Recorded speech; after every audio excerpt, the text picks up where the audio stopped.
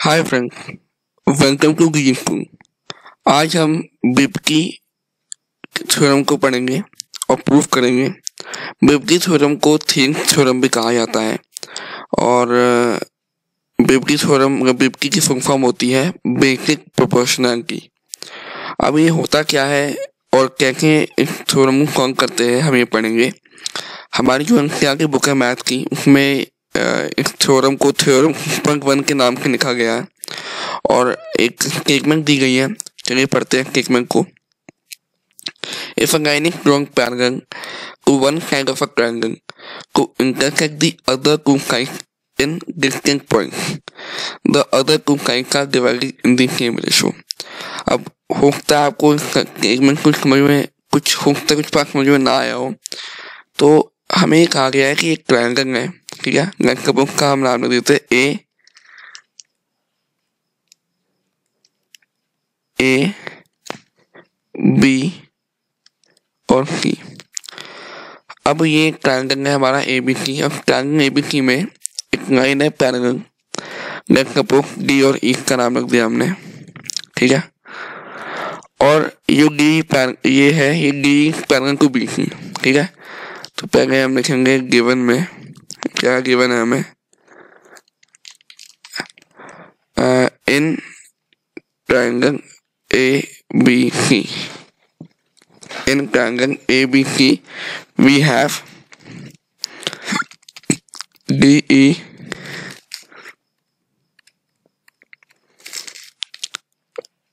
D E parallel B C okay अब हमें ये गिवन है। अब हमें क्या कहना है आगे? कि प्रूफ करना है कि जो रेशो है मतलब A D upon D B equal to equal to A upon E C अब मैं आपको बताता हूँ क्या प्रूफ करना है हमें। तो हम कहेंगे टू प्रूफ क्या?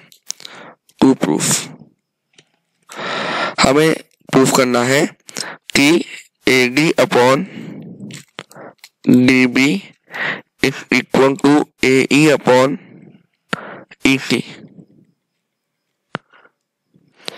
तो अब हमें प्रूफ करना है। इसको प्रूफ करने के लिए हमें दो कंस्ट्रक्शन करनी पड़ेगी। तो चलिए कंस्ट्रक्शन करते हैं। अब कंस्ट्रक्शन करने की ज़रूरी है, क्योंकि उसके बिना प्रूफ करना बहुत मुश्किल है। तो हम क्या करेंगे? बी और ई e को यहाँ पर ज्वाइन कर देंगे। और डी और सी को यहाँ पर ज्वाइन कर देंगे। ठीक है? अब यहाँ पे ए डी ई में हम दो परपेंडिकुलर फॉर्म करेंगे और कहते हैं यहाँ पे दो ऑक्ट्यूब ठीक है? हम दो ऑक्ट्यूब बनाएँगे। ठीक है? यहाँ पे ओके अब नेक्स्ट बुक का मैं नाम रखता हूँ एम और यहाँ पे एन अब देखिए पेन लिखना आपको कंस्ट्रक्शन ठीक है? कंस्ट्रक्शन क्या है हमारी? अब ये जो हमने परपेंडिकुलर फॉर्म किए हैं तो हम लिखेंगे draw D N perpendicular A and E M perpendicular A D ठीक है?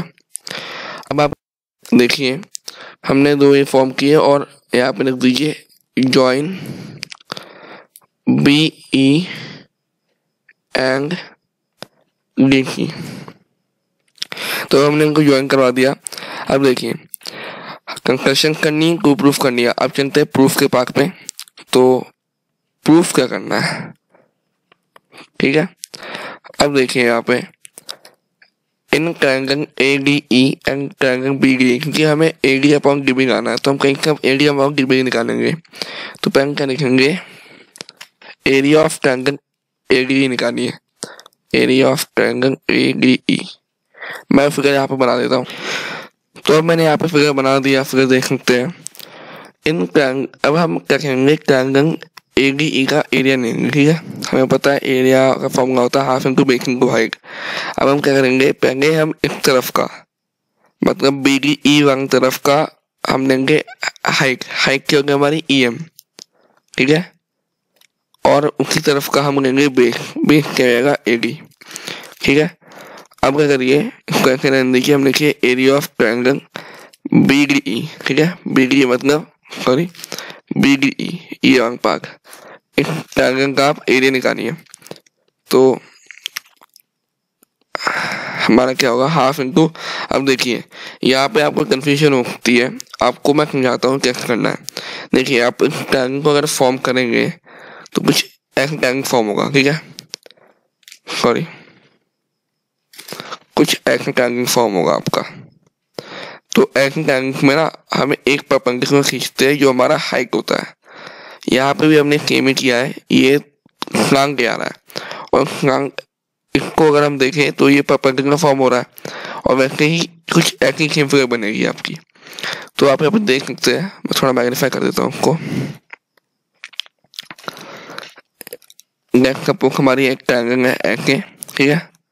कुछ ऐसे बना है। अब आप देख सकते हैं यहाँ पे कि इसका हाइक निकालना नहीं हम ऐसे नहीं कर सकते। ठीक है? तो क्या होता है ना कि यहाँ के इसको एक्सटेंड करके यहाँ से परपेंडिकुलर डाल देते हैं। तो ये परपेंडिकुलर होता है हाइट बन जाती है। सिमिलरली यहाँ पे अगर हम देखें बी ई में तो ये ई एम है। ये परपेंडिकुलर जा रहा है और एक यहाँ के जा रहा है। तो ई एम का हाइक हो जाएगा, ठीक है? और बेस वही रहेगा बी अब क्या करो कि area of triangle A D E A D E area of triangle B D कर दो. सिंपल ठीक है? क्या होगा? Half into E M into A D upon half into E M into B D ठीक है? ई एम ई एम काट दो हाफ़ के हाफ़ काट दो. क्या बचा? A D upon B D ठीक है? अब इससे आप कर लो number one equation number one अब अगर भी चलते हैं। अब देखिए, यहाँ पे करेंगे कि अब हमने यहाँ पे ए डी और बी डी लिया। अब हम ए डी ई और सी डी ई लेंगे, ठीक है? तो फिर देखिए area of triangle A D E तो ये क्या होगा? एक बार क्या होगा हमारा? एक बार देखिए ए डी ई है। इसमें अब इस तरफ़ मांगेंगे इस तरफ़। तो जब इस तरफ़ अगर हम लेंगे तो क्या होगा कि डी एन आ जाएगा हमारा हाइट तो half into D N height हो गया, और बेस हो जाएगा हमारा ए ई हाफ़ इंटू ए ई ठीक है? अब क्या करिए यहाँ पे? तो मिटा देते हैं। ठीक है? अब क्या करिए? एरिया ऑफ़ ट्रायंगल इस तरफ़ का सी डी ई का, इस पाक का निकालिए एरिया ठीक है? तो सी डी ई यहाँ पे भी सेम कंसेप्ट होगा। जो हमारा डी एन है, वो उसका हाइट हो जाएगा ठीक है? तो डी एन होगी हमारी हाइट और बेस क्या है हमारा? बेस हमारा सी ई है। इन्हें डिवाइड कर दीजिए आप। Area of triangle A D E divided by area of triangle C D E ठीक है? Half into D N into A E upon half into D N D N काट दो आप, और हाफ़ के हाफ़ काट दो। क्या बचा आपका? ए ई अपॉन सी ई ठीक है? अब देखिए, हमारे पास क्या आ गए दोनों? अब देखिए आपको मैं क्या बताता हूँ यहाँ पे। यहाँ पे आप देखेंगे तो डी ई है। एक एक सिमिलर बेस पड़ेगा। एक सिमिलर बेस पड़ेगा हमारे इसके लिए। डी ई जो है ना, ये बी डी ई और डी ई इनके लिए एक सिमिलर बेस है, ठीक है? तो अब क्या करेंगे हम यहाँ पे कि हम मैंने में पढ़ा था कि अगर दो ट्रायंगल का, दो ट्रायंगल एक सेम बेस पे तो दोनों का एरिया इक्वल होता है। तो हमें लिख सकते हैं area of triangle B D E is equal to area of triangle C D E क्यों? क्योंकि triangle triangle on same base दोनों का सेम बेस है ओके अब क्या कर सकते हैं हम? अगर आप यहाँ पे देखें तो अगर मैं, ये तो हमारा टू हो गया, ठीक है? तो यहाँ पे मैं लिख सकता हूँ ना ये, कि area of A D E upon area of D को मैं बी डी लिख सकता हूँ। इसका मतलब क्या हुआ? कि हमारा जो ये है ए डी ई और एरिया ऑफ़ बी डी ये इससे आ जाएगा, ठीक है? तो क्या हो गया? ए डी अपॉन में B D equal equal A E upon में सी ई मैंने कुछ नहीं किया, मैंने बी डी ई या डी लिखा तो मैंने बी डी कर दिया। तो अगर मैं इसको बी डी लिख दूँगा तो क्या हो जाएगा? Area of triangle A D E upon में area of triangle B D E ठीक है? ये इक्वेशन इसका हमने यहाँ पे प्रयोग किया है। तो प्लीज़ कंफ्यूज मत होइएगा। सिंपल सिंपल हमने जहाँ इसकी ये वैल्यू यहाँ पे ए अपॉन सी है और इसकी value A D upon B D है। दोनों इक्वल प्रूफ हो जाएँगे। ओके तो हमने क्या प्रूफ करना था? हमें यही प्रूफ करना था। आप देख सकते हैं, हमें यही प्रूफ करना था। हम लिखेंगे यहाँ पे हैंस प्रूफ क्योंकि इसमें हमें सिर्फ़ दो कहीं दो कहीं का प्रोपोर्शनल प्रोपोर्शन दिखाना था। ठीक है? तो इसमें में इतना ही, अगर आपको हमारी वीडियो अच्छी लगी हो तो लाइक कर दीजिएगा।